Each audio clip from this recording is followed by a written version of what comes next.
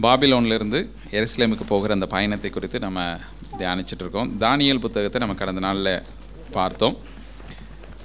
நீங்கள் எல்லாம் அறிந்திருக்கிறபடி இஸ்ரேல் ஜனங்களை தேவன் எகிப்திலிருந்து விடுதலையாக்கி அடிமைத்தனத்தில் இருந்த இஸ்ரவேல் ஜனங்களை எகிப்திலிருந்து விடுதலையாக்கி அவர் கானான் தேசத்துக்குள்ளே கொண்டு வந்தாங்க. அவர்களுக்கு ராஜாக்களை கொடுத்தாங்க. ஆனால் அவங்க கேட்டதெல்லாம் கொடுக்கப்பட்டது. ஆனால் அவர்கள் கர்த்துடைய வழியில் நடக்காமல் ஆண்டவரை விட்டு விலகி போனபடினால ஆண்டவர் அவர்களுடைய அக்கிரமங்களின் நிமித்தம் நீங்கள் இந்த ராஜாக்கள் புஸ்தகத்திலையும் சரி நாலாவது புத்தகத்திலையும் சரி அவனுடைய இருதயம் அவன் தகப்பனாகிய தாவீதன் இருதயத்தை போல இல்லாமல் அப்படின்னு சொல்லி நிறைய இடத்துல படிக்கலாம். முதல்ல இருக்க தாவீது தான் ஸ்டாண்டர்டாக ஆண்டவர் காமிக்கிறார். தாவீது வந்து ஆண்டுடைய இருதயத்துக்கு ஏற்றவனாக இருந்தான் அப்படின்னு சொல்லி பார்க்குறோம்.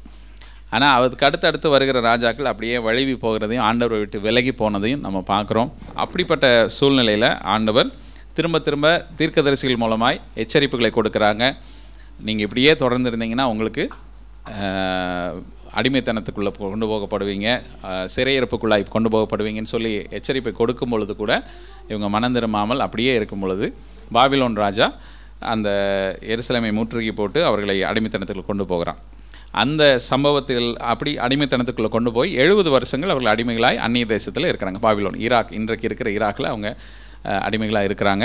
அந்த எழுபது வருடம் முடிந்த பிறகு எப்படி அவங்க திரும்பவும் கானான் தேசத்துக்கு வருகிறாங்க அப்படிங்கிற அந்த சம்பவத்தை தான் நம்ம தியானிச்சிட்டு இருக்கிறோம். ஏற்கனவே நான் சொன்னபடி அடி பாவ அடிமைத்தனத்திலிருந்து புறஜாதி மக்களாக இருந்த நாம் ஆண்டு இயேசு கிறிஸ்து நாமத்தை அறிந்து ரட்சிப்பின் அனுபவத்துக்குள்ளே வருகிறது தான் அந்த எகிப்துக்குள் இருந்து வெளியே வருகிற அனுபவம். அப்படி சபைக்குள்ளே வந்த பிறகு ஆண்டுடைய காணான் தேசத்துக்குள்ளே வந்த பிறகு ஆண்டுடைய வார்த்தை ஆண்டுடைய ஆளுகைக்குள்ளே தான் நம்ம இருக்கிறோம். ஆனாலும் முழுமையாய் ஆண்டவருக்கு கீழ்ப்படிந்து இருக்காமல் நமக்குள்ளே இன்னமும் அநேக பாவங்கள் அநேக விக்கிரகங்கள் அநேக காரியங்களுக்கு சபைக்குள்ளே தான் இருக்கிறோம். எல்லாம் இருக்குது. காணான் தேசத்தில் தான் அவங்க இருக்கிறாங்க. ஆண்டோடைய பிள்ளைகள் தான் அவங்களுக்குன்னு ஆண்டவர் எல்லா ப்ரொவிஷனும் கொடுத்துருக்குறா எல்லாம் இருக்குது. பாதுகாப்பு இருக்குது எல்லாம் இருக்குது ஆனாலும் அவங்க என்னவாக இருக்கிறாங்க? அக்கிரமம் செய்கிறவர்களாக தான் இருக்கிறாங்க. அப்படி தான் இன்றைக்கு இருக்கிற சபையும் இருக்கிறது. அநேக சபைகள் அப்படி தான் இருக்கிறது ஸோ அப்படிப்பட்ட ஒரு சபையிலிருந்து மறுபடியும் எப்படி எருசலேம் மணவாட்டி சபை நம்ம இதில் பார்க்கலாம். வெளிப்படுத்தின விசேஷத்தில் அந்த பாபிலோன் எருசலேம் மணவாட்டி ஆகிய எருசலேம் அப்படின்னு சொல்லி நம்ம பார்க்கலாம். வேசி அப்படின்னு சொல்லி பாபிலோனை பற்றி சொல்லப்பட்டிருக்கும். ஸோ இந்த இடத்துல இருந்து நம்ம அந்த இடத்துக்கு எப்படி போகிறோம் அப்படிங்கிற அந்த மூமெண்ட்டை தான் நம்ம இன்றைக்கி பார்க்குறோம். ஆவிக்குரிய விளக்கம். கடந்த வாரத்தில் ஒரு கேள்வி கேட்டிருந்தேன். அதனுடைய ஆவிக்குரிய விளக்கம் என்ன அப்படின்னு சொல்லி. கதை மட்டும் படிச்சுட்டு போகாமல் அதுலேருந்து ஏதாவது ஒன்று கற்றுக்கொள்ளணும். ஸோ இன்றைக்கி பாபிலோன்லேருந்து திரும்பி போகிறது அப்படின்னா என்ன அர்த்தம்? பாபிலோனிய அந்த மற்ற தெய்வங்களுக்குள்ள அடிமைத்தனத்துக்குள்ள இருக்கிற அந்த அனுபவத்திலிருந்து ஆண்டவரை தொழுது கொள்கிற அந்த அனுபவம்.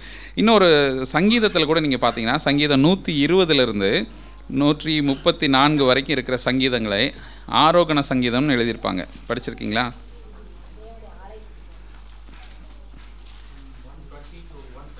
ஆமாம் நூற்றி இருபதுலேருந்து நூற்றி முப்பத்தி நாலு வரைக்கும். இந்த சங்கீதங்களை குறித்து பல விதமான காரியங்கள் சொல்லப்படுகிறது.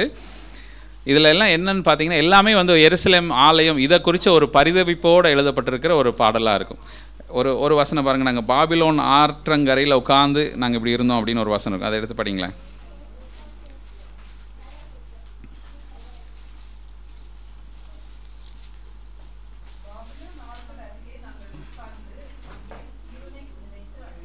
எந்த வசனம் சிஸ்டர்? ஒன் தேர்ட்டி செவனில் வருதா? ஓகே. ஃபைன் ஆமாம் ஒன் தேர்ட்டி செவனில் பாபிலோன் ஆறுகள் அருங்கே நாங்கள் உட்கார்ந்து சியோனை நினைத்து அழுதோம்னு இருக்குது இன்னும் இந்த இடத்துல வந்து ஆலயத்தை குறித்தே இந்த முப்பத்தி நான்கு வரைக்கும் உள்ளது. திரும்ப திரும்ப இதை நூற்றி இருபத்தாறு பாருங்கள் சியோனின் சிறையிருப்பை கர்த்தர் திருப்பும் போது அப்படின்னா என்ன அர்த்தம்? அவங்க சிறையிருப்பில் இருக்கிறாங்க அப்படிங்கிறத நம்ம பார்க்குறோம் இதில் இதை படித்து பார்த்தீங்கனாலே இது வந்து அதே மாதிரி நூற்றி இருபத்தி ரெண்டில் கர்த்துடைய ஆலயத்துக்கு போவோம் வாருங்கள் என்று சொன்னபோது நான் மகிழ்ச்சியாக இருந்தேன் எருசலேமை பற்றி அந்த இடத்துல ஆமாம் அப்போ அந்த இடத்துல பார்க்குறோம். அப்படின்னா என்ன அர்த்தம்னா இவங்க ஆலயத்துக்கு போக முடியாமல் அந்நிய தேசத்தில் இருக்கிறாங்க. ஆனால் உண்மையான சபைக்கு போகணும் அப்படின்னு ஒரு வாஞ்சையோடு இருக்கிற அந்த தவிப்பை தான் இந்த இடத்துல நம்ம அதிகமாக பார்க்க முடியும். ஸோ நான் எதுக்காக சொல்ல வந்தேன் அப்படின்னா இந்த செகண்ட் மூமெண்ட்டை பற்றி தான் நம்ம பார்க்குறோம். எருசலேமிலிருந்து சாரி எருசல இஸ்ரேல் தேசத்திலேருந்து கானான் தேசத்திலேருந்து பாபிலோன் தேசத்துக்கு வந்தது எல்லா அடிமைத்தனத்துக்குள்ளே வந்த சாரி எகிப்திலிருந்து இஸ்ரேல் தேசத்துக்கு வந்த சம்பவம் எல்லாருக்கும் தெரியும். நம்ம அதிகமாக பேசப்படாத ஒரு காரியம் பாபிலோன்லேருந்து திரும்பவும் எருசலேமுக்கு வருகிற ஒரு காரியம். எருசலேம் அலங்கம் இடிக்கப்பட்டிருக்கிறது ஆலயம் இடிக்கப்பட்டிருக்கிறது சிதைக்கப்பட்ட நிலைமையில் இருக்கிற அந்த சபைக்கு நேராய் அதை கட்டும்படியாய் இதை மறுபடியும் உயிர்ப்பிக்கும்படியாய் ஒரு சிலருடைய இருதயத்தில் ஆண்டவர் போட்ட பாரத்தை தான் நம்ம தியானித்து கொண்டிருக்கிறோம். முதலாவதாக நம்ம பார்த்தது தானியல். தானியல் வந்து அடிமைத்தனத்தில் முழுவதும் அந்த எழுபது வருடத்து காலம் முழுவதும் அவன் இருந்தான். தன்னை பரிசுத்தமுள்ளவனாய் காத்துக்கொண்டான் எந்த குற்றம் இல்லாதவனாய் காத்துக்கொண்டான் ஞானவானாக இருந்தான். அப்படிப்பட்டவனுடைய இருதயத்துக்குள்ளே என்ன இருந்தது? இல்லை எருசலேம் இடிக்கப்பட்டிருக்கிறதே என்கிற அந்த பாரம் அவனுக்குள்ளாய் வந்தது. அவன் தன்னை காத்துக்கொண்டான் கடைசி வரைக்கும் அவன் ப- பரிசுத்தமாய் வாழ்ந்த பிறகு அவனுடைய இருதயத்தில் சபையை குறித்த ஒரு பாரம் உண்டாகிறது நம்ம பார்க்குறோம். அந்த சபைக்காய் அவன் ஜெபிக்கிறான். அவன் சொல்லும் பொழுது ஜெபம் பண்ணும்போது கூட என்ன சொல்கிறான் நாங்களும் எங்கள் பிதாக்களும் பாவம் செய்தோம். அவன் ஒரு அவன் மேலே ஒரு குற்றமும் இல்லை. குற்றம் கண்டுபிடிக்க முடியவே இல்லை.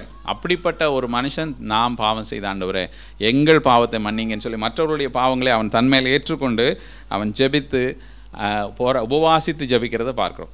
அப்படிப்பட்ட ஜெபத்துக்கு அந்த இடத்துலயே ஆண்டவர் என்ன பதில் கொடுக்குறார்? நீ ஜெபிக்க தொடங்கின போதே பதில் கட்டளை வெளிப்பட்டது அப்படின்னு சொல்லி தூதம் வந்து அங்கே நிற்கிறாப்புல ஜெபம் முடிஞ்ச உடனே ரிசல்ட் கொடுக்கணும் அப்படின்னு சொல்லிட்டு. எவ்வளோ ஈஸியாக இருக்கும். போன வாரம் டெஸ்ட் எழுதிட்டு ரிசல்ட் பார்க்குறக்காக சில பேர் காத்துட்டு இருக்கிறீங்க. ஆனால் ஆண்டவர் அங்கே ஜெபிக்க ஆரம்பித்தோடனே ரிசல்ட்டை கொண்டு வந்துட்டார் அங்கே. இல்லையா? நிறைய ஜெபங்களுக்கு நம்ம வந்து காத்துக்கிட்டே இருக்கிறோம். ஐயோ இவ்வளோ நாளாக ஜெபம் பண்ணுறோம் இவ்வளோ நாளாக ஜெபம் பண்ணுறோம் நமக்கு இன்னும் பதில் வரலையே.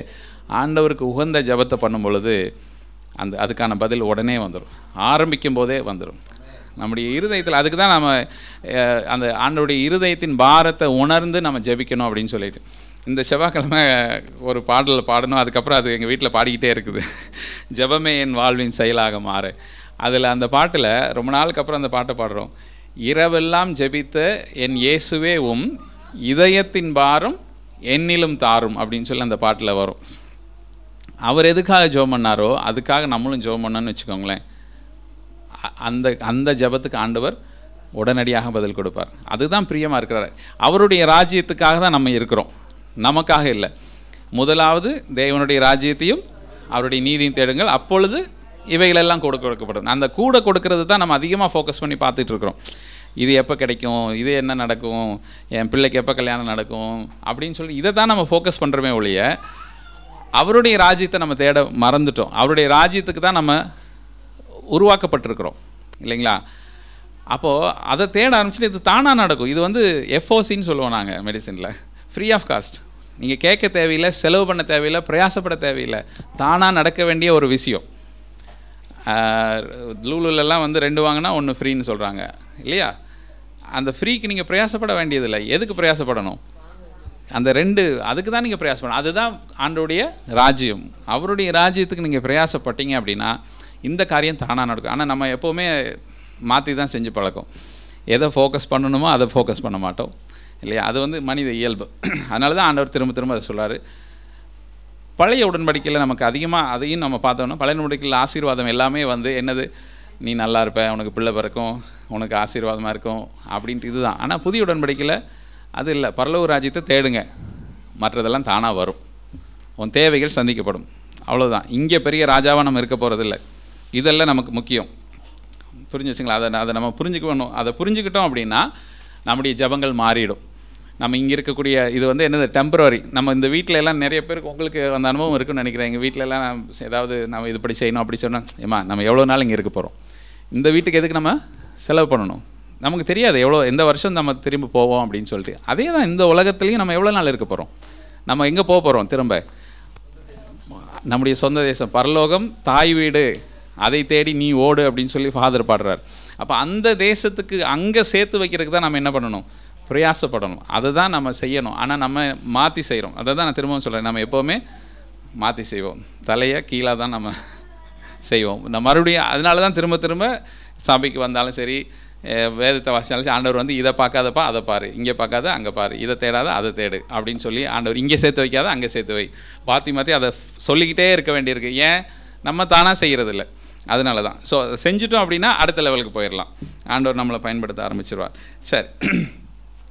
அப்படி அப்படிப்பட்ட ஜெபத்தை ஏறெடுத்த தானியலினுடைய காலம் முடிவுக்கு வந்தது. எழுபதாவது வருஷம் கடைசியில். நீங்கள் ஒரே ஒரு காரியத்தை மட்டும் வாசிங்க தானியல் புத்தகத்தில்.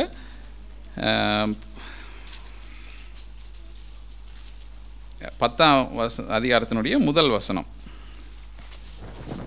பெர்ஷியாவின் ராஜாவாகிய கோரேஸ் அரசாண்ட மூன்றாம் வருஷத்திலே போதும் போதும். பெர்சியாவின் ராஜாவாகிய கோரேஸ் அரசாண்ட மூன்றாம் வருஷம் அப்படின்னு சொல்லப்பட்டிருக்குது. ஆக்சுவலி என்ன நடந்தது அப்படின்னா இந்த பாபிலோன் ராஜாங்கம் பாபிலோன் அரசாங்கம் என்னாச்சுன்னா விழுந்தது. உங்களுக்கு தெரியும் ஒரு அரசன் அவன் பேர் எனக்கு ஞாபகம் இல்லை. அவன் வந்து அந்த பாபில் அர தேவாலயத்திலேருந்து கொண்டு வந்த அந்த பாத்திரங்களில் திராட்சை ரசத்தை ஊற்றி குடித்து அவன் சொல்லிகிட்டு இருக்கும்போது ஒரு செவற்றில் ஒரு விரல் வந்து எழுதுனது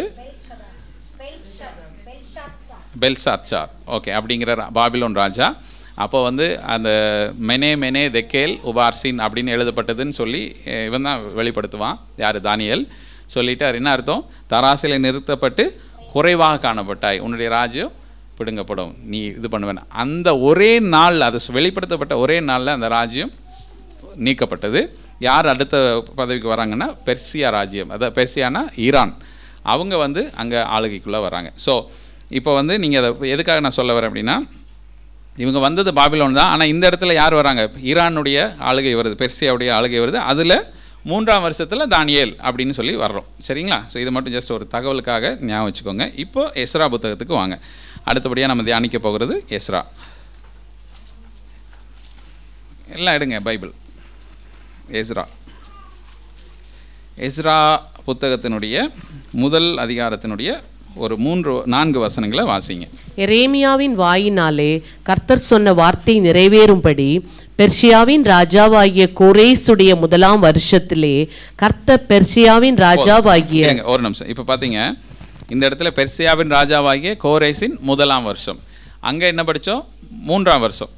ஸோ அப்போ தானியேல் அந்த இடத்துல வந்துட்டார். உங்களுக்கு அது லிங்க்குக்காக நான் சொல்கிறேன் தானியேலுடைய காலம் முடியுது.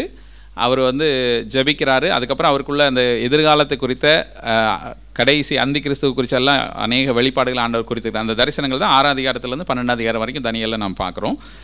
அந்த சம்பவங்கள் நடந்து கொண்டு இருக்கிற போது அதாவது தானியலோட ஊழியம் முடியுது. முடிஞ்சிருச்சு. அவர் வந்து தன்னை பரிசுத்தமாக காத்துக்கொண்டார். ஒரு கூட்டம் ஜனங்களை அங்கே எழுப்பினார்.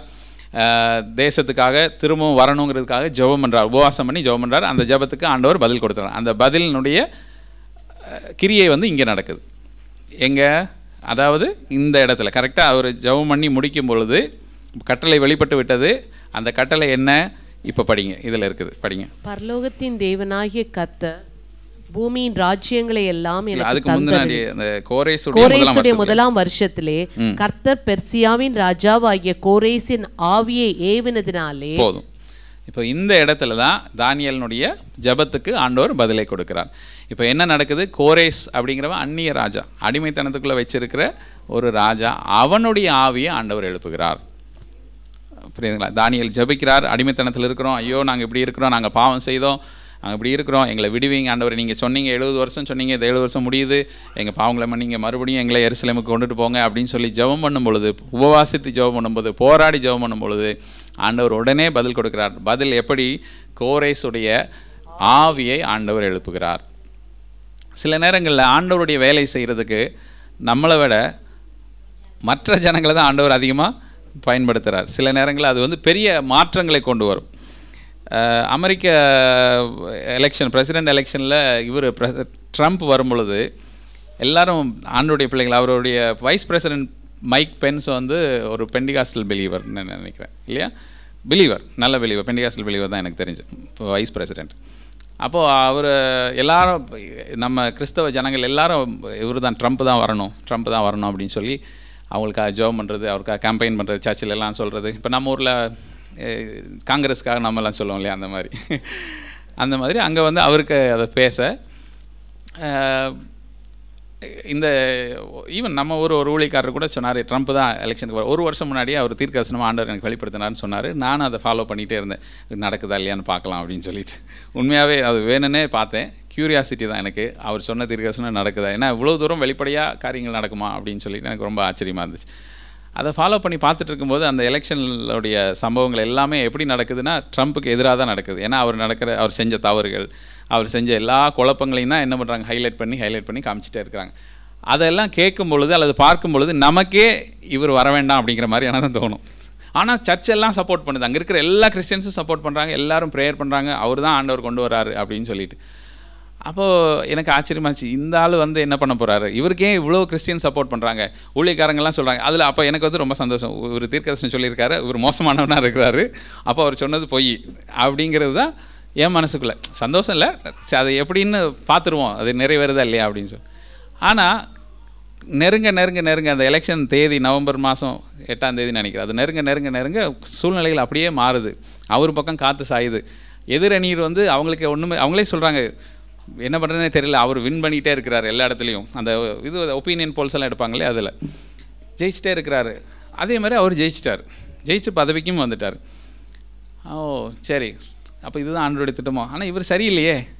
இவர் சரியில்லாத மனுஷனாச்சே. அப்படின்னாக்கும் என் மனசுக்குள்ளே இருந்தது.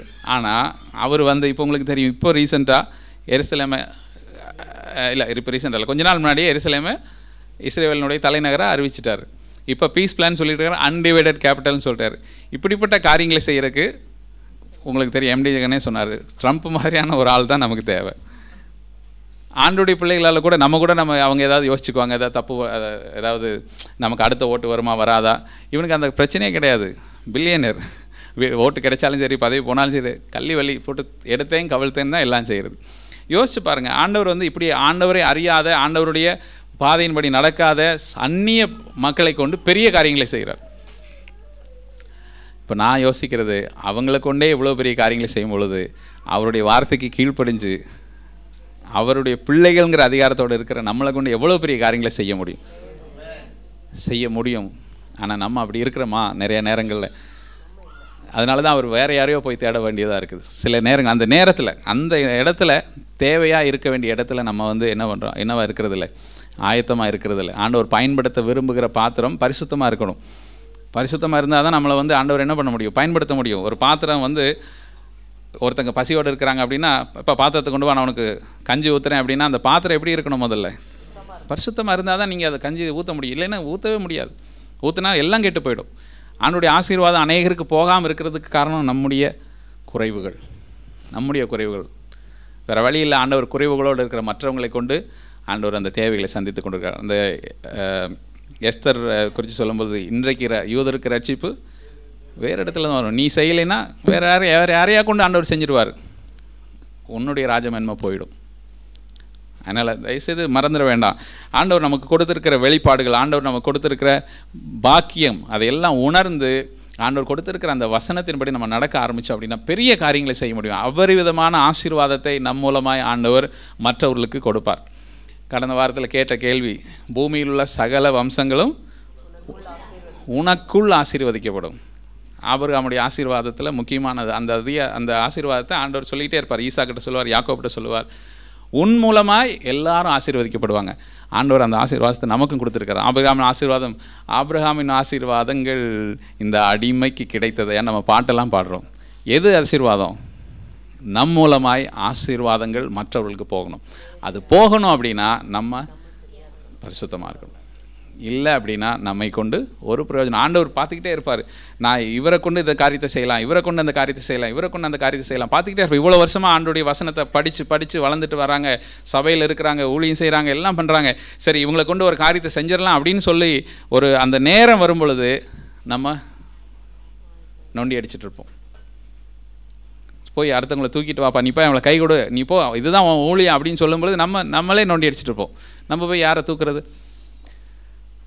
அதனால் ஆண்டவரை நம்ம நிறைய நேரங்களில் வேதனைப்படுத்தி கொண்டு இருக்கிறோம் ஆண்டவர் நம்ம நம்மை குறித்த திட்டங்கள் ஆண்டவரே நம்முடைய சித்தம் என் வாழ்க்கையில் நிறைவேறட்டும். நாம் பரிசுத்தமாக இருக்கிறவங்க தான் சித்தம் பரிசுத்தமாக இருந்தால் அவர் பயன்படுத்த ஆரம்பிச்சிருவார். அதுதான் குறைவு. வேறு ஒன்றுமே இல்லை. அவருடைய வசனத்துக்கு கீழ்ப்படிஞ்சோம் அப்படின்னா அவர் பயன்படுத்துறதுக்கு அவர் ஆயத்தமாக இருக்கிறார். கழுதை கூட பயன்படுத்தினார் இல்லைங்களா? கழுதை அது சொன்ன பேச்சு கேட்ட உடனே அது தீர்க்கதர்சனம் சொல்லிச்சு.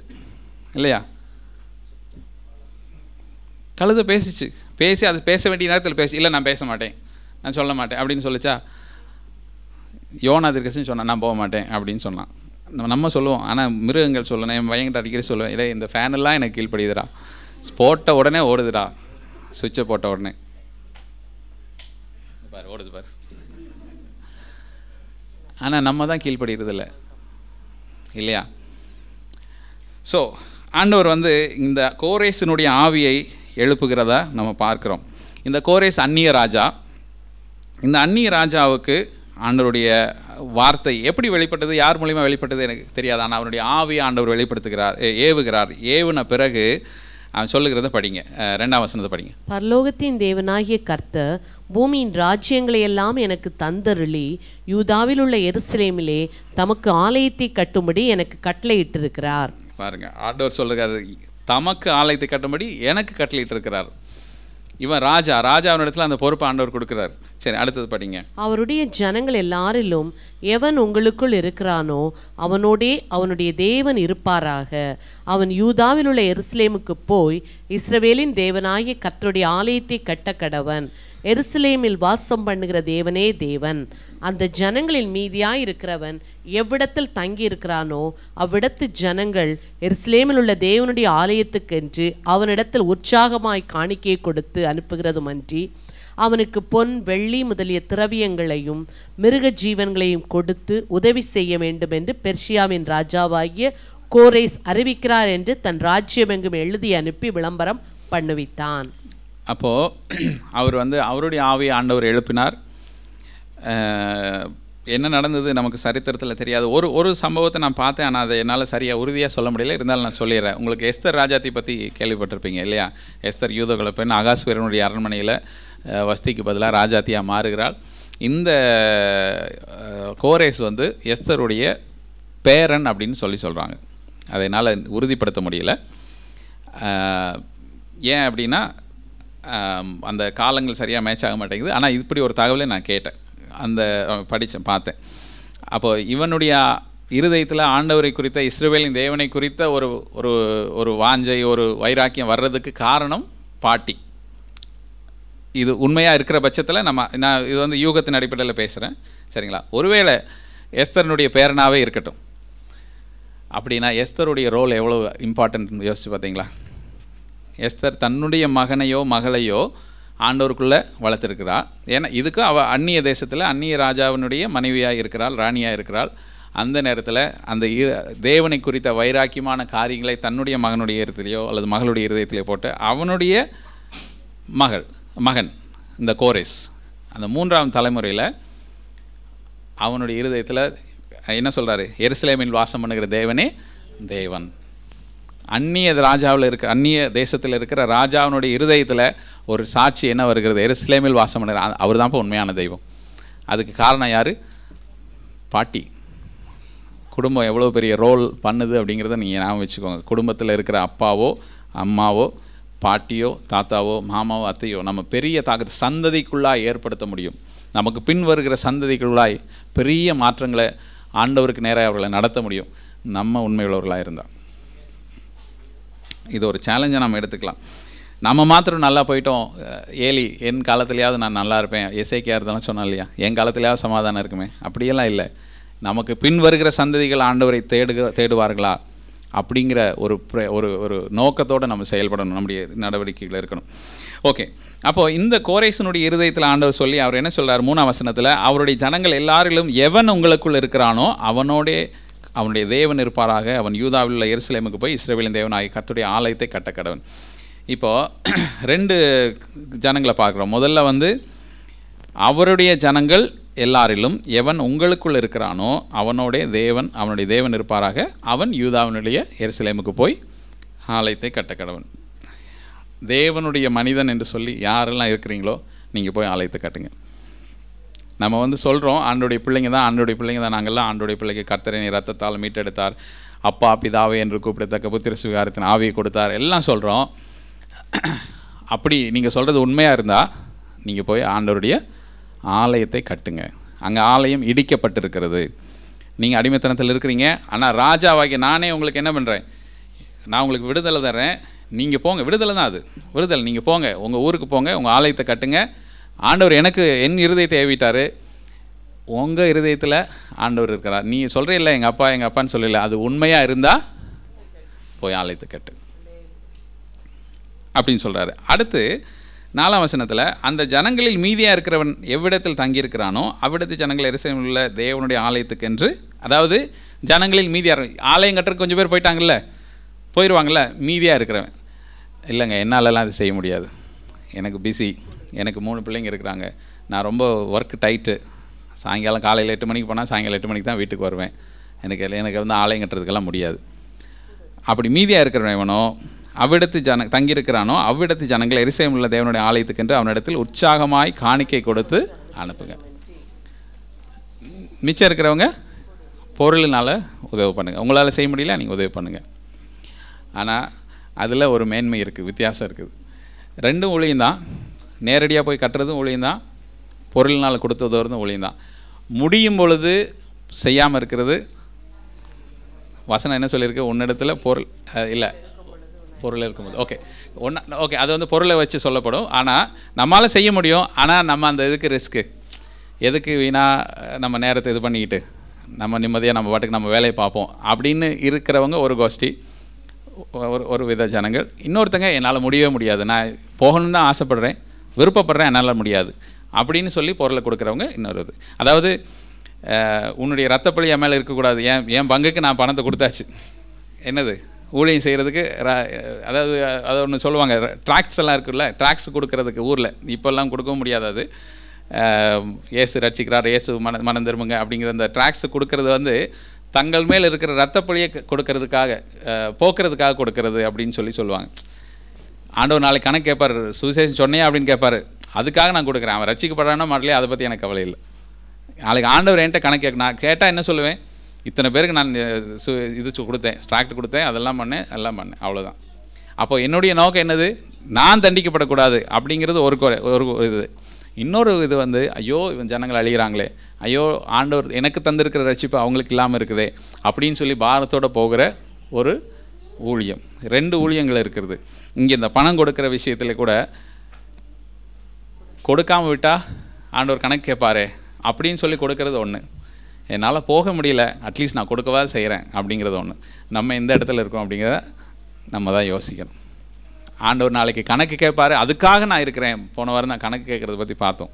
அதுக்காக நான் செய்கிறேன் அப்படின்னா பரிதவிக்க வேண்டிய இடம் தான் கணக்குக்காக இல்லை இருதயத்தின் ஆழத்துலேருந்து நம்ம அந்த காரியத்தை செய்யணும்.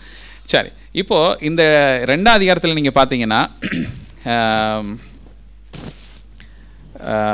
அதாவது இதில் ஃபுல்லாக நிறைய பேர் பேர் எழுதியிருக்கு. ரெண்டு ஒன்று ரெண்டு வசனங்களை வாசிங்களேன். பாபிலோன் ராஜாவாகிய நேபுகாத் நேச்சா பாபிலோனுக்கு கொண்டு போனவர்களுக்குள்ளே சிறையிறப்பிலிருந்து எருசலேமுக்கும் யூதாவில் உள்ள தங்கள் தங்கள் பட்டணங்களுக்கும் Zerubbabel Jeshua Nehemiah Seraiah Reelaiah Mordecai Bilshan Mispar Bigvai Rehum Baanah என்பவர்களோடே கூட திரும்பி வந்த தேசத்து புத்தராகிய இஸ்ரவேல் ஜனமான மனிதரின் தொகையாவது. போதும். அப்படின்னா இந்தந்த ஜனங்கள் எல்லாம் வந்தாங்க அப்படின்னு சொல்லி கீழே இதில் இத்தனை பேர் அத்தனை பேர் அத்தனை பேர்னு எல்லாம் எழுதியிருக்கும். இந்த அதிகாரத்தை நீங்கள் வீட்டில் போய் பாருங்கள் இன்னொரு வசனத்தை மட்டும் படிங்க. அறுபத்தி எட்டாம் வசனத்தில் வம்சங்களின் தலைவரில் சிலர் எருசலேமில் உள்ள கர்த்தருடைய ஆலயத்துக்கு வந்தபோது தேவனுடைய ஆலயத்தை அதன் ஸ்தானத்திலே எடுப்பிக்கும்படிக்கு அதற்காக மன உற்சாகமாய் காணிக்கைகளை கொடுத்தார்கள். அடுத்த வசனம் படிங்க. அவர்கள் தங்கள் சந்ததிக்கு தக்கதாக சக்திக்கு தக்கதாக திருப்பணி பொக்கிஷத்து பொக்கிஷத்திற்கு அறுபத்தோராயிரம் தங்க காசையும் ஐயாயிரம் ராத்தல் வெள்ளியையும் நூறு ஆசாரிய வஸ்திரங்களையும் கொடுத்தார்கள். சரி.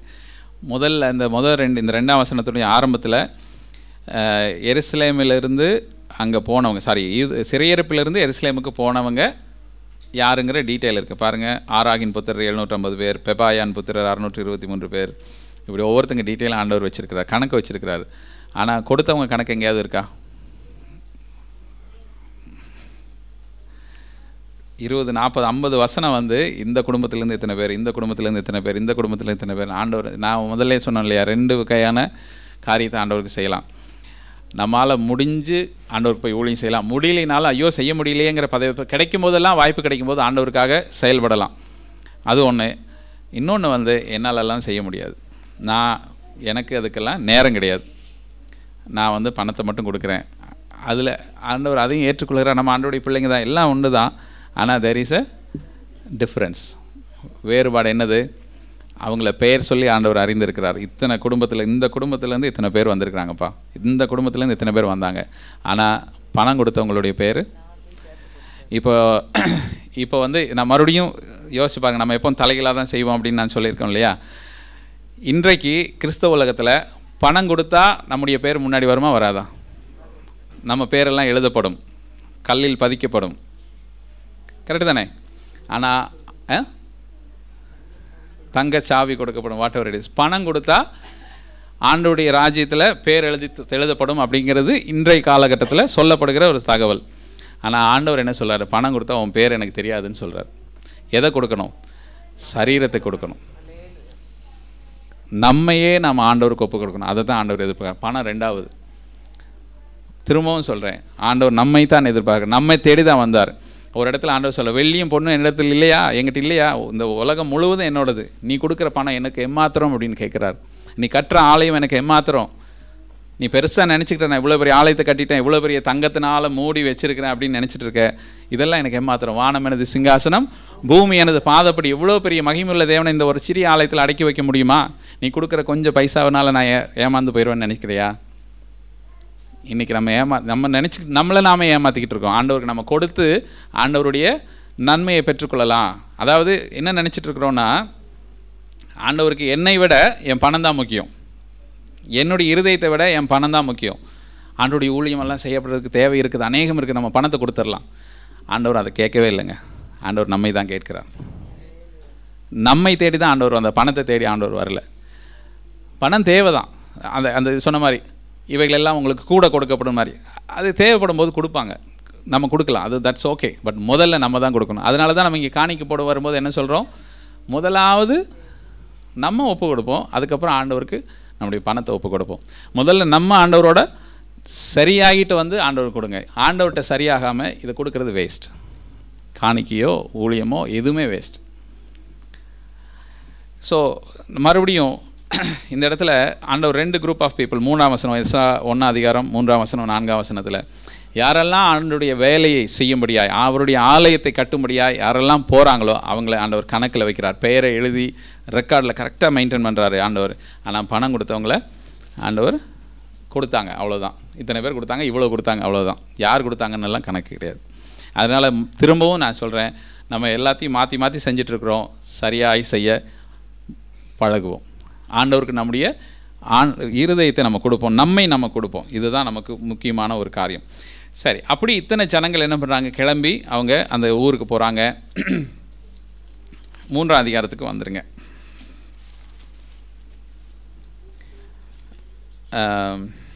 மூன்றாம் அதிகாரம் ஒன்று ரெண்டு வசனங்களை வாசிங்க. இஸ்ரவேல் புத்திரர் பட்டணங்களிலே குடியேறி ஏழாம் மாதமான போது ஜனங்கள் ஏகோபித்து எருசலேமிலே கூடினார்கள்.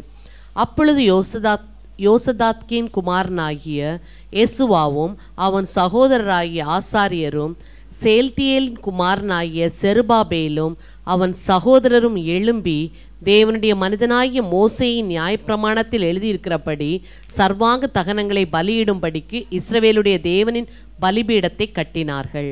ஓகே அப்போது இந்த இடத்துல எல்லாரும் பாபிலோன்லேருந்து எருசலேமுக்கு போய் அந்தந்த இடங்களில் எழுபதாம் வசனம் முந்தின வசனத்தில் முந்தின அதிகாரம் ரெண்டாம் அதிகாரம் முந்தின க- அதுக்கு மேல் வசனத்தை பார்த்தீங்கன்னா இஸ்ரவேலர் எல்லாரும் தங்கள் தங்கள் பட்டணங்களிலும் குடியேறினார்கள். அடிமைத்தனத்தில் இருந்தாங்க திரும்பி போய் அவங்க அவங்க ஊரில் போய் அவங்க குடியிருக்கிறாங்க.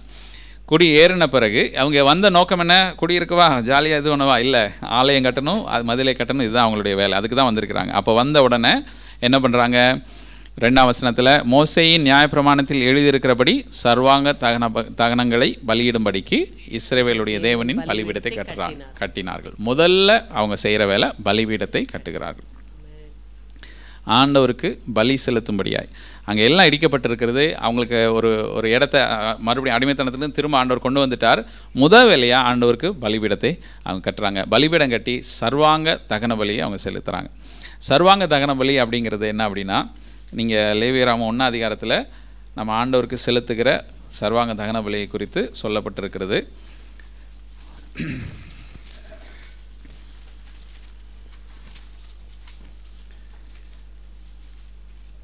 ஒரு மிருகத்தை எடுத்து அதை வந்து மூணாம் வசனத்தில் அவன் செலுத்துவது மாட்டு மந்தையிலிருந்து எடுக்கப்பட்ட சர்வாங்க தகன பணியானால் அவன் பழுதற்ற ஒரு காளையை செலுத்துவானாக.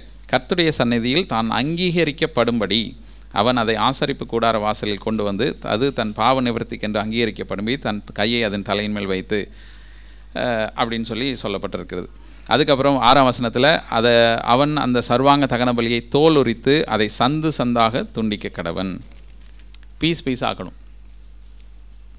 சர்வாங்க தகன பலிங்கிறது வந்து சில சில பலிகள் வந்து அப்படியே மொத்தமாக பலி கொடுத்து அப்படியே வச்சிடணும். ஆனால் இந்த சர்வாங்க தகன எப்படி வைக்கணும்னா சந்து சந்தாக துண்டிக்கணும். பீஸ் பீஸாக வெட்டி அங்கே வச்சு முழுமையாக எரிக்க ஒப்பு கொடுக்கணும். இதுதான் சர்வாங்க தகன பலி கடந்த நாளில் நான் சொன்னேன் ஒரு ஒரு வார்த்தையை வச்சு ஆண் ஜெபம் பண்ணும்பொழுது ஆண்டவர் இந்த இந்த காரியத்தை வைத்து நான் ஜெபிப்பதற்கு ஆண்டவர் உதவி உதவி செய்தார். நம்முடைய நம்மை ஆண்டோடைய சமூகத்தில் ஒப்புக் கொடுக்கும்போது சர்வாங்க தகன பலியாக ஒப்புக் கொடுக்கணும்னா நம்மை துண்டு துண்டாக வெட்டி ஒப்பு கொடுக்கணும் அப்படின்னா என்ன அர்த்தம்னா ஒரு முழு சரீரமாக மொத்தமாக எல்லோரும் வாங்க அப்படின்னு சொல்லாமல் நீங்கள் வாங்க நீங்கள் வாங்க அப்படின்னு சொன்னால் எவ்வளோ ஸ்பெஷல் அவர் என்ன பேர் சொல்லி கூப்பிட்டார் அப்படின்னு நம்ம சொல்லுவோம் இல்லையா? ராஜா கூப்பிட்டார் அல்லது யாரோ ஒருத்தவங்க கூப்பிட்டாங்க.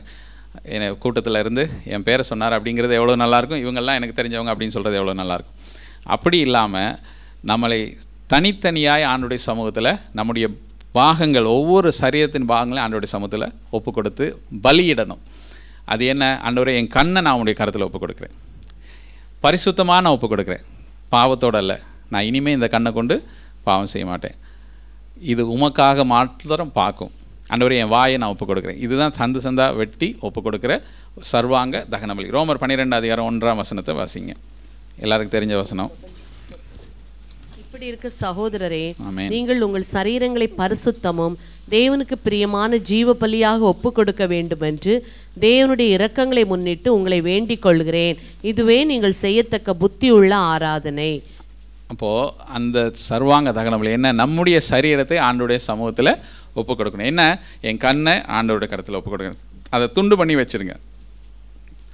காதை நான் துண்டு பண்ணி வைக்கிறேன். ஆண்டவரை நான் இனிமேல் உமக்கு பிரியமில்லாத காரியங்களை நான் கேட்க மாட்டேன். உம்முடைய வார்த்தைகளை மாத்திரம் நான் கேட்பேன். என் வாயை நான் துண்டு பண்ணி நான் ஒப்பு கொடுக்குறேன் ஆண்டவரே. இனிமே உம்முடைய வார்த்தைகளை மாத்திரம் நான் பேசுவேன். தீமையான காரியங்களை நான் பேச மாட்டேன். கெட்ட வார்த்தைகளை நான் பேச மாட்டேன். மற்றவர்களுக்கு கி- உ- உயிர்ப்பிக்கும்படியான கிருபியுள்ள வார்த்தைகளை மட்டும்தான் நான் பேசுவேன். என் கையை நான் ஒப்பு கொடுக்குறேன் இருதயத்தை நான் ஒப்பு கொடுக்குறேன் அப்படி ஒவ்வொரு பகுதியும் நம்ம துண்டு துண்டா துண்டு துண்டா வெட்டி மொத்தமாக இல்லை. ஆண்டவரே நான் உமக்காக இருப்பேன் ஆண்டவரே. அப்படி இல்லை. ஒன்று ஒன்றா நீங்கள் செஞ்சு பாருங்கள் ரொம்ப கஷ்டமாக இருக்கும் அது. நான் இனிமே தேவையில்லாத காரியங்களை கேட்க மாட்டேன்.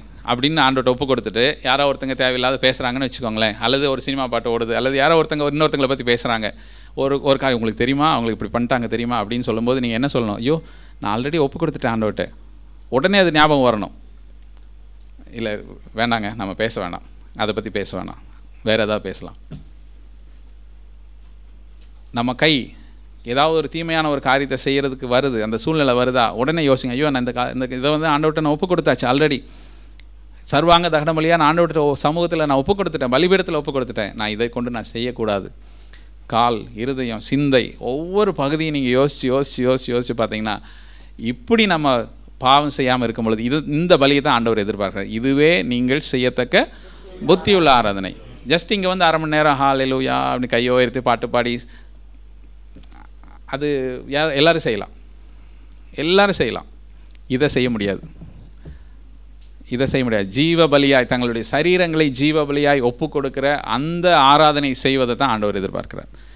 நம்ம வந்து எப்போவுமே ஈஸி வழி எடுத்துக்குவோம். ஈஸியாக இருக்கிற அதாவது ஆண்டவருக்காக போய் உழைக்க முடியாது அட்லீஸ்ட் காசு கொடுத்துடலாம். சரீரத்தை ஒப்பு கொடுக்க முடியாது அதனால் இங்கே வந்து ரெண்டு பாட்டு பாடிட்டு போயிடலாம். ஆஃப் அன் ஹவர் அவ்வளோதான் இனி அடுத்த சர்வீஸ் வரைக்கும் கவலையே கிடையாது. இந்த பாடி வச்சு நான் என்ன வேணால் பண்ணிக்கலாம். இந்த கண்ணை வச்சு எதை வேணாலும் பார்த்துக்கலாம். இந்த வாயை வச்சு எதை வேணாலும் பேசிக்கலாம். அது என்னுடையது. இங்கே இருக்கிற அந்த அரை மணி நேரம் மாத்திரம் கண்ணை மூடிட்டு ஆண்டவர் பார்ப்போம். அவ்வளோதான் அதெல்லாம் ஆராதனை. பு ஜீவ பலியாய் புத்தியுள்ள ஆராதனை என்னது? நம்மை முழுவதுமாய் சர்வாங்க தகன பலியாய் ஆண்டோடைய சமூகத்தில் ஒப்பு கொடுப்பது. ஆண்டுடைய ஆலயத்தை கட்டணும்னா முதல்ல அதை செய்யணும். அப்போ தான் ஆண்டுடைய ஆலயத்தை நம்ம கட்டி எழுப்ப முடியும். ஆண்டவர் விரும்புகிற ஒரு ஆலயமாய் பரிசுத்தமுள்ள ஒரு மனவாட்டி சபையாக இதை எழுமணும்னா நம்முடைய சரீரத்தை ஆண்டோடைய சமூகத்தில் ஜீவ பலியாய் ஒப்பு கொடுக்கறதுக்கு நம்ம ஆயத்தமாக இருக்கணும். அதை தான் அவங்க அன்றைக்கு அவங்க செய்தாங்க. முதலாக முதலாவதாக அவங்க வந்து பலிபீடத்தை அவங்க செய்கிறாங்க அந்த நேரத்தில் இன்னும் அஸ்திபாரம் போட போடப்படலை. அந்த வசனம் கூட சொல்லப்பட்டிருக்கும் பாருங்களேன். ஆறாம் வசனத்தை வாசிங்க. ஏழாம் மாதம் முதல் தேதியில் கர்த்தருக்கு சர்வாங்க தகன பலிகளை செலுத்தத் தொடங்கினார்கள். ஆனாலும் கர்த்தருடைய ஆலயத்தின் அஸ்திபாரம் இன்னும் போடப்படவில்லை. முதலாவது ஆலயத்திற்கு அஸ்திபாரம் போடு நம்ம முதல்ல என்ன பண்ணுவோம்? எந்த பில்டிங் கட்டுறதுனால முதல்ல என்ன பண்ணுவோம்? அஸ்திபாரம் கட்டுவோம். ஆக்சுவலி மறுபடியும் சொல்கிறேன் தலைகளாக தான் நம்ம செஞ்சிட்ருக்குறோம். நம்ம வீடு நம்ம வீடு கட்டுறதானா நம்ம என்ன பண்ணுவோம்? முதல்ல அஸ்திபாரம் தோண்டி அதுக்கப்புறம் தான் ஒரு ஒரு ஸ்ட்ரக்சரை நம்ம கட்டுவோம். ஆனால் ஆண்டவருடைய ஆலயம் பலிபீடத்துலேருந்து தான் ஆரம்பிக்கும். ஆசரிப்பு கூடாரத்தை பற்றி ஆண்டவர் சொல்லும்போது மோசையிட்ட முதலாவது மகா பரிசுத்த ஸ்தலத்துக்குள்ளே என்ன இருக்குமோ அதை சொல்லி அதுலேருந்து தான் வெளியே கொண்டுட்டு வருவார் ஆண்டவர். அந்த ஆர்டர் நீங்கள் பார்த்தீங்கன்னா முதல்ல அந்த உடன்படிக்கை பெட்டி அதுக்குள்ளே என்ன வைக்கணும்? கேருபின் சேராபின் இது எல்லாத்தையும் சொல்லி சொல்லி சொல்லி தான் அதுதான் பிளான் அப்போது நம்ம அப்படி பண்ண மாட்டோம். இல்லையா? நம்ம என்ன பண்ணுவோம்? ஃபென்ஸ்லேருந்து ஆரம்பிப்போம். முதல்ல ஃபென்ஸ் கட்டி நம்ம பொருளை யாரும் எடுத்துகிட்டு போயிடக்கூடாதுன்னு சொல்லி இங்கே ஒமானில் தானே ரூலு முதல்ல தட்டி வச்சு த இது பண்ணணும். யார் கன்ஸ்ட்ரக்ஷனில் இருக்கிறீங்க? முத வேலை என்ன பண்ணணும்? ஃபென்ஸு கட்டி மறைச்சிடணும். உள்ளே என்ன நடக்குதுன்னு வெளியே தெரியக்கூடாது. அதுதான் ஒமான் ரூல். நம்ம ஊரில் எல்லாம் ஓப்பனாக விட்டுருப்போம். ஆனால் ஆண்டவர் அப்படி சொல்ல முதல்ல நடுவில் இருக்க முக்கியமானது எது? நம்ம எது முக்கியம்னு நம்ம நினைக்குமோ அதை ஆண்டவர்கிட்ட முதல்ல கொடுக்கணும். அதை முதல்ல கட்டணும். முதல்ல சரி செய்யணும். இது இருதயத்தை சரி செய்யுங்க. பலி ஒரு சரீரத்தை இது பண்ணுங்க. அதுக்கப்புறம் மற்றதெல்லாம். இங்கே அதாவது எல்லாமே உள்ளே நடக்கணும் முதல்ல. உள்ளே இருந்து வெளியே வரணும். ஆனால் உலகத்தில் எப்படி இருக்கும்? வெளியே இருந்து உள்ளே போவாங்க. அதாவது வெளியே பார்க்குறக்கு எல்லாம் அலங்காரமாக இருக்கும். பக்கத்தில் போக போக தான் வெள்ளையடைக்கப்பட்ட கல்லறை அப்படின்னு சொல்லி ஆண்டவர் அதை தான் சொல்கிறார் வெளியே பார்க்குறதுக்கு ரொம்ப ஆர்ப்பாட்டமாக அலங்காரமாக இருக்கும். ஸோ அஸ்திவாரம் இன்னும் போடலை. ஆனால் ஆண்டவர் இந்த இடத்துல என்ன பண்ணுறாங்க பலிபீடத்தை இது பண்ணுறாங்க அதுக்கப்புறம் என்ன பண்ணுறாங்க அஸ்திவாரத்தை போடுறதுக்கு அவங்க செய்கிறாங்க வேலையை ஆரம்பிக்கிறாங்க.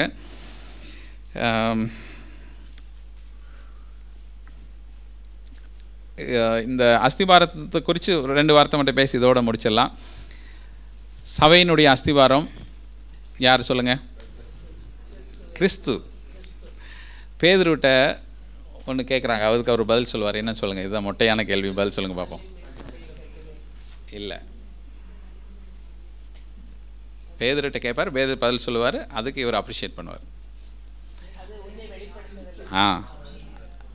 நீ என்ன நினைக்கிற? எங்களுக்கு நீங்கள் என்ன நினைக்கிறீங்க? என்னை பற்றி அப்படின்னு ஆண்டவர் கேட்கும் பொழுது நீர் ஜீவனுள்ள தேவனுடைய குமாரனாகிய கிறிஸ்து அப்படின்னு சொல்லும்போது மாம்சமும் ரத்தமும் இதை உனக்கு வெளிப்படுத்தவில்லை. பிதாவானவர் உன்னை வெளிப்படுத்த பிதாவா பரிசுத்தாவியானவரா? பிதாவானவர் உன்னை வெளிப்படுத்தினார் அப்படின்னு சொல்லிட்டு இந்த கல்லின் மேல் என் சபையை கட்டுவேன். இந்த கல்லுங்கிறது நிறைய பேர் பேதுரு என்றால் பாறைன்னு சொல்லுவாங்க.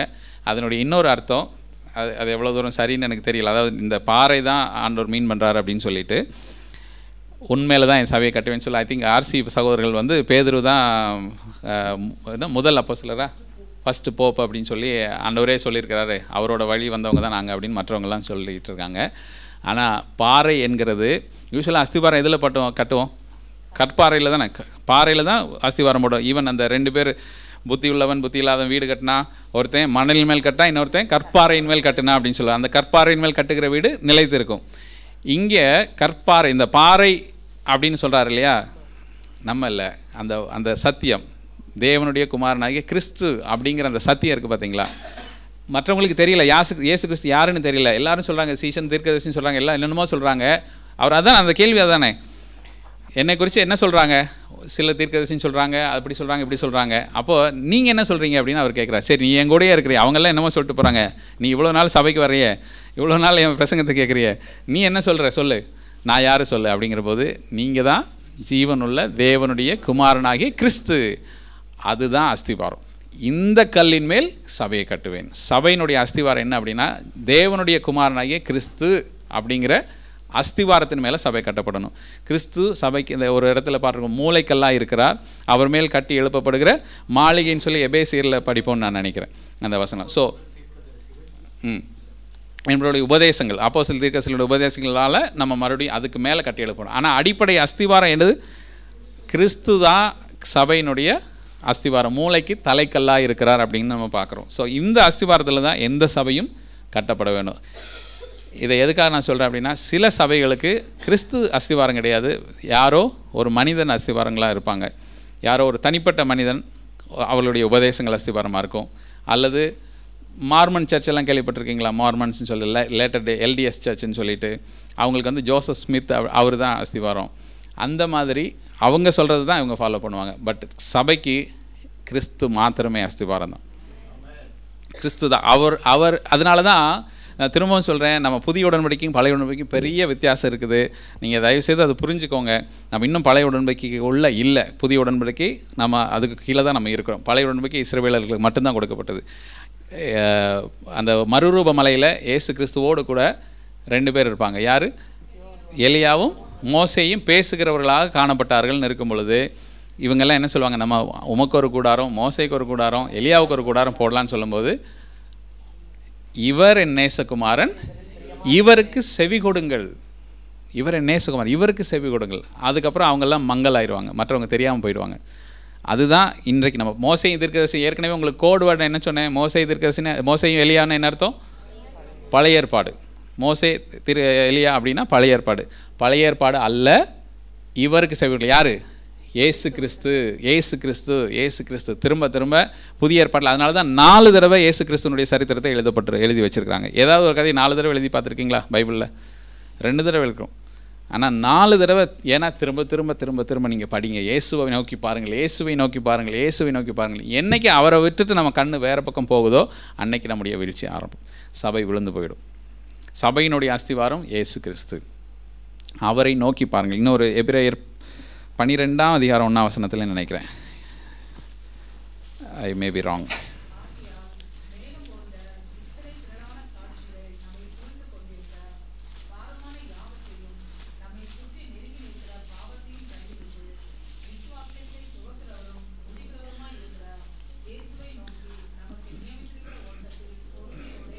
இயேசுவை நோக்கி ஓடணும். இயேசுவை போல மாறணும். இயேசுனுடைய உபதேசத்தில் நம்ம இருக்கணும். இயேசுவை நம்ம தரித்து இருக்கணும் அவருடைய சாயலாய் நம்ம மாறணும். இன்னொரு வசன தேசலனிக்கெல்லாம் பார்க்கணும் இப்பொழுது நம்ம அவர் வரும்பொழுது நம்ம எப்படி இருப்போம்னு எனக்கு தெரியாது. ஆனாலும் அவர் வரும்பொழுது அவர் இருக்கிற வண்ணமாகவே நாம் அவரை தரிசிப்போம் என்று அறிந்திருக்கிறோம். ஸோ நம்முடைய அல்டிமேட் கோல் வந்து இயேசு கிறிஸ்து மாதிரி தான் மாறணும். வேறு எந்த ஊழியக்காரங்களை போகிற மா- அல்ல. எந்த ஒரு சபையை போல் அல்ல. நமக்கு எந்த ரோல் மாடலும் நமக்கு கிடையாது. இயேசு கிறிஸ்து மாத்திரம்தான். அவர் எப்படி பேசினார்? அவர் எப்படி பிரசங்கம் பண்ணினார்? அவர் எப்படி மன்னிச்சார்? அவர் எப்படி ஏற்றுக்கொண்டார்? அவர் எப்படி அன்பு செலுத்தினார்? அவர் எப்படி கோவப்பட்டார் அதை கூட நம்ம கற்றுக்கொள்ளலாம். அவர் எந்த இடத்துல கோவப்பட்டார் அவர் எப்படி ஏற்றுக்கொண்டார் எல்லாரையும்? எல்லாத்தையும் நம்ம எதை எதை கொண்டு பார்க்கணும்? இயேசுவை மாத்திரம்தான் வச்சு பார்க்கணும். இன்றைக்கு இதோட நான் நிறுத்துகிறேன் வருகிற நாட்களில் இன்னும் அஸ்திவாரத்தில் சில காரியங்கள் இருக்குது இவரையர் ஆறா ஆறாம் அதிகாரத்தில் முதல் வசனத்தில் இன்னும் சில காரியங்கள் இருக்கிறது. அது கர்த்தருக்கு சித்தமல்ல அடுத்த நாட்களில் நம்ம பார்க்கலாம். ஸோ கர்த்தர் நம்முடைய நம்மிடத்தில் ஒரு பெரிய எதிர்பார்ப்போடு இருக்கிறார். அவருடைய சபையை கட்டும்படியாக மனவாட்டி சபையாய் நாம் உருவாகும்படியாய் ஆண்டவர் நம்மிடத்தில் ஒரு எதிர்பார்ப்போடு இருக்கிறார். நம்மை பிரித்தெடுத்தார் எருசலேமிலிருந்து சாரி எகிப்திலிருந்து பாவ வாழ்க்கையிலிருந்து அடிமைத்தனத்திலிருந்து நம்ம பிரித்தெடுத்து கானான் தேசத்தில் கொண்டு வந்துட்டார் சபைக்குள்ளே கொண்டு வந்துட்டார். ஆனாலும் நாம் எந்த எருசலேம் சபையாய் மணவாட்டி சபையாக நம்ம இல்லை. மணவாட்டி சபைனா என்ன அர்த்தம் அப்படின்னா மணவாட்டி தன் மணவாளனுக்காக காத்திருப்பான். வேசி அப்படி அல்ல. மணவாளனுக்காக அல்ல. யாரை யாரை வேணாலும் அப்படி தான் இன்றைக்கி நம்ம வந்து மணவாளனாக இயேசுவை மாத்திரம் பார்த்து கொண்டிராமல் அவரை மாத்திரம் தேடிக்கொண்டிராமல் எல்லாத்தையும் தேடிக்கொண்டிருக்கிறோம் நம்ம வேசி சபையாய் அநேக சபைகள் இன்றைக்கு இருக்கிறது. மணவாளனாய் இயேசுவை மறுதளித்தவர்களாய் அவரை விட்டுட்டு வேசித்தனத்துக்குள்ளாய் போகிற விக்கிர ஆராதனைன்னு இன்னொரு இடத்துல நம்ம சொல்லுகிற பொருளாசை பணத்துக்கு பின்னால் ஓடிக்கொண்டிருக்கிற ஜனங்கள் மனிதர்களுக்கு பின்னால் ஓடிக்கொண்டிருக்கிற ஜனங்கள் உபதேசங்களுக்கு பின்னால் ஓடிக்கொண்டிருக்கிற ஜனங்கள் எல்லாத்துலேயும் என்ன ஆகிப்போச்சு அப்படின்னா இயேசுவை விட்டு விட்டாங்க. ஏசு கிறிஸ்துவை விட்டுட்டாங்க அஸ்திபாரமாகிய இயேசுவை விட்டு விட்டு மற்ற காரியங்களுக்கு பின்னால் ஓடிக்கொண்டிருக்காங்க. இப்படிப்பட்ட சபையை தான் ஆண்டவர் மறுபடியும் மனவாட்டி சபையாய் மாற்றும்படியாய் நம்மிடத்தில் அழைப்பு கொடுக்கிறார். பிரிமானவர்கள் எல்லார் கண்களை மூடி ஆண்டு நோக்கி பார்க்கலாம். இப்படிப்பட்ட சபையாக மனவாட்டி சபையாக நீங்கள் மாறணும்னு விரும்புகிறீங்களா இல்லை நான் பாபிலோன்லேயே இருந்துக்கிறேன். எனக்கு கம்ஃபர்டபுள் லைஃப் போதும். அடிமைத்தனத்திலே எனக்கு பழகி போயிடுச்சு. நம்முடைய சொந்த தேசத்துக்கு ஆண்டவர் நம்மை கூட்டிக் கொண்டு போகிறேன்னு ஆண்டவர் சொல்கிறாரு உங்களை அடிமைத்தனம் அக்கிரமத்தை எல்லாற்றையும் நான் மன்னிக்கிறேன். திரும்பவும் நான் உங்களுக்கு கொடுத்த அந்த தண்டனையிலிருந்து உங்களை மறுபடியும் திரும்ப உங்கள் தேசத்தில் நிலை நிறுத்துவேன் நிலை நாட்டுவேன் என்று சொல்லுகிறார். போவதற்கு ஆயத்தமாக இருக்கிறீங்களா? ரெண்டு ஆப்ஷன் இருக்குது நீங்கள் நேரடியாக போய் இந்த சபையை மறுபடியும் எழுப்பி கட்டணும். நீங்கள் தான் அந்த சபை. நாமே அந்த ஆலயம் என்று சொல்லப்பட்டிருக்கிறது. மறுபடியும் எழும்பி தேவனுக்குள்ன்ற அந்த மகிமையான ஒரு மனவாட்டி சபையை நம்ம கட்டணும். அதற்கு ஆண்டவர் அழைக்கிறார். சில நேரம் நான் இல்லைங்க என்னாலெல்லாம் முடியாது. எனக்கு அதுக்குரிய நேரம் இல்லை. பணத்தை கொடுக்குறீங்களா? இட்ஸ் ஓகே ஆனால் ஆண்டவருடைய கணக்கில் அது நீங்கள் வர வைக்க மாட்டீங்க. உங்கள் பேர் ஆண்டவர் எனக்கு தெரியாதுன்னு சொல்லுவார் நாளைக்கு. நீ யாருப்பா? ஆண்டவரே நான் உங்களுக்கு இவ்வளோ பணம் கொடுத்தேன் ஆண்டவரே. அப்படியா? அப்படின்பார். தங்களையே ஒப்பு கொடுத்தவங்களை தான் ஆண்டவர் கணக்கில் வைக்கிறார் பிரியமானவர்களே. ஜீவ பலியாய் நம்மை ஒப்பு கொடுக்கும்படியாய் அவர் நம்மிடத்தில் எதிர்பார்க்கிறார். அவர் தன்னை ஒப்பு கொடுத்தார் நம்மை மீட்கும்படியாய் தம்மையே முழுமையாய் சிலுவையில் ஒப்பு கொடுத்த அந்த அருள்நாதர் நம்மிடத்தில் கேட்கிறார். உன்னை எனக்கு தருவாயா என்று கேட்கிறார். நம்ம ஆண்டவர் அறிந்திருக்கணும். ஏற்கனவே உங்களுக்கு ஒப்பு கொடுத்துட்டு ஆண்டவரேன்னு நம்ம சொல்கிறோம் ஆனால் மனவாட்டி மனவாட்டியாய் நாம் வாழ்ந்து கொண்டு இருக்கிறோமா அல்லது வேசியை போல மற்ற எல்லா ஆசைகளோடும் மற்ற எல்லா விருப்பங்களோடும் அதோடு கூட மனவாளனோடு வாழ்ந்து கொண்டு இருக்கிறோமா நம்ம யோசிப்போம். மனவாட்டி சபையாய் நாம் அழைக்கப்பட்டிருக்கிறோம் பிரியமானவர்களே. மணவாளன் வர காத்திருக்கிற ஒரு மனவாட்டி சபையாய். அப்படிப்பட்ட சபையை நாம் எழுப்பும்படியாய்தான் கிறிஸ்துவை அஸ்திவாரமாக கொண்ட மூளைக்கல்லாய் கொண்ட சபையாய் நாம் எழுப்பப்படும்படியாய் நாம் அழைக்கப்பட்டிருக்கிறோம். நம்முடைய பலிபீடங்கள் செப்பினப்பட செப்பினப்பட்டிருக்கிறதா? நம்ம தகன பலியாய் ஒப்பு கொடுப்பதற்கு ஆயத்தமாக இருக்கிறோமா ஒப்பு கொடுத்துருக்கிறோமா நம்முடைய கண்கள் காதுகள் க செவிகள் கைகள் இருதயம் சிந்தை கால் எல்லாவற்றையும் ஆண்டோடைய சமூகத்தில் துண்டு துண்டாய் தனித்தனியாக நீங்கள் ஒப்பு கொடுத்துருக்கிறீங்களா ஒவ்வொரு பகுதியிலையும் ஆண்டவரே நான் இனிமேல் உமக்கு மாத்திரம் உண்மை மாத்திரம் நான் பார்ப்பேன். உண்மை மாத்திரம் உடைய சத்தத்தை மாத்திரம் நான் கேட்பேன். உமக்காக மாத்திரம் நான் ஓடி வேலை செய்வேன். உமக்கு தான் நான் கொடுப்பேன். உண்மை தான் தேடுவேன். நீரே என் வாஞ்சை. எனது மனவாளனேன்னு சொல்லி இன்றைக்கி பாடணுமே அது உண்மையா? உண்மையாகவே நீர் என் மனவாளனா அப்படி தான் நான் இருக்கிறேன் நம்ம இருக்கிறோமா? நீங்கள் யோசிங்க. அப்படி ஒருவேளை நம்ம குறைவுள்ளவர்களாக இருந்தால் இந்த நாளில் ஆண்டவர் மறுபடியும் உங்களை அழைக்கிறார். மறுபடியும் ஞாபகப்படுத்துகிறார். ஆதி அன்புக்குள்ளாய் மறுபடியும் நம்மை அழைக்கிறார் பிரியமானவர்களே. அந்த தகப்பன் வீட்டுக்கு திரும்பி போவதற்கு அந்த இளைய குமாரனுக்கு எப்படி ஒரு உணர்வு வந்ததோ அந்த உணர்வோடு நம்ம இன்றைக்கு ஓடி வந்தால் மறுபடியும் நம்மை அணைத்து கொள்ள அவர் ஆவலாய் காத்திருக்கிறார். ஆண்டவர் நோக்கி பார்க்கலாமா? நம்ம ஆண்டவர் விரும்புகிற விதத்தில் வாழுகிறோமா? இல்லையா என்பதை நீங்கள் யோசித்து பாருங்கள் ஆண்டவருடைய சமூகத்தில் ஒப்பு கொடுங்க. நல்ல ஆண்டவரே நம்ம நன்றியோடு துதிக்கிறோம். ஸ்தோத்திரிக்கிறோங்க தாவே. அப்பா ஸ்தோத்திரம். எங்களுக்காய் நீர் ஜீவன் தந்தீர். எங்களை மீட்டுக்கொள்ளும்படியாய். ஆண்டவரே எங்களை உமோடு கூட நித்திய நித்திய காலமாய் வைத்து எங்களை ஆசீர்வதிக்கும்படியாய் எங்களுக்காக நீங்கள் உண்மையே கொடுத்தீங்க ஆண்டவரே. உங்களுடைய அன்பிற்காக உங்களுடைய அளவில்லாத நேசத்திற்காக நன்றி செலுத்துகிறோம். ஆனால் அதை முழுமையாக உணராமல் ஆண்டவரே நாங்கள் மனவாட்டியாய் வாழாமல் இருக்கிறோம் ஆண்டவரே. எங்களுடைய இருதயத்தில் பணத்தை குறித்த ஆசைகள் இருக்கிறது. இந்த உலகத்தில் இருக்கிற பொருளை குறித்த ஆசை இருக்கிறது. இந்த உலகத்தில் இருக்கிற வேலையை குறித்த ஆசைகள் இருக்கிறது ஆண்டவரே. இந்த உலகத்தில் பெரிய ஆளாகணும்னு சொல்லி நாங்கள் ஆசைப்படுறோம் ஆண்டவரே. உண்மை நாங்கள் முன்னிறுத்தாமல் ஆண்டவர் உண்மை மாத்திரம் தேடாமல் மற்ற காரியங்களுக்கெல்லாம் நேரத்தை செலவழித்து கொண்டிருக்கிறோம். எங்களை மன்னிங்க ஆண்டவரே. நாங்கள் மனவாட்டியாய் மாறும்படியாய் மணவாளனை தேடி காத்திருக்கிற ஒரு மனவாட்டி சபையாய் நாங்கள் காணப்படும்படியாய் எங்களை மாற்றுங்க ஆண்டவர் இந்த நாளிலே நாங்கள் ஒப்பு கொடுக்குறோம் நாங்கள் பாவம் செய்தோம். எங்களை மன்னிங்க. எங்களுடைய ப்ரையாரிட்டிஸ் எல்லாம் மாறட்டும் ஆண்டவரே. எங்கள் கண்கள் உண்மை மாத்திரம் காணட்டும். எங்கள் காதுகள் உம்முடைய சத்தத்தை கேட்கட்டும். ஆண்டவரே எங்கள் கால்கள் உமக்கு நேராய் நடக்கட்டும் ஆண்டவரே. நாங்கள் எப்பொழுது உண்மையே சிந்தித்து கொண்டிருக்கட்டும் ஆண்டவரே. அப்பா எங்கள் சிந்தைகள் பரிசுத்தமாகட்டும். ஆண்டவரே தகன பலியாய் நாங்கள் ஒப்புக் கொடுக்கிறோம் ஆண்டவரே ஸ்தோத்திரம். பரிசுத்தமுள்ள ஒரு சபையாய் நாங்கள் எழும்பி நிற்க கர்த்தர் உதவி செய்வீராக. தேவன் விரும்புகிற ஒரு மனவாட்டி சபை எங்கள் மத்தியிலிருந்து எழும்பட்டும். ஆண்டவரே ஸ்தோத்திரம். உலகத்துக்கு பின்னால் ஓடின நாட்கள் போதும் ஆண்டவரே. எங்களை மன்னிங்க. தயவாய் மன்னிங்க. மறுபடியுமாய் உமக்கு உகந்த பிள்ளைகளாய் உமக்கு உகந்த ஒரு சபையாய் எழும்பி நிற்கும்படியாய் கர்த்தர் உதவி செய்வீராக. நம்முடைய கருத்தில் ஆவி ஒப்பு கொடுக்கிறோம் இயேசு நாமத்தில் பிதாவே. Amén, amén.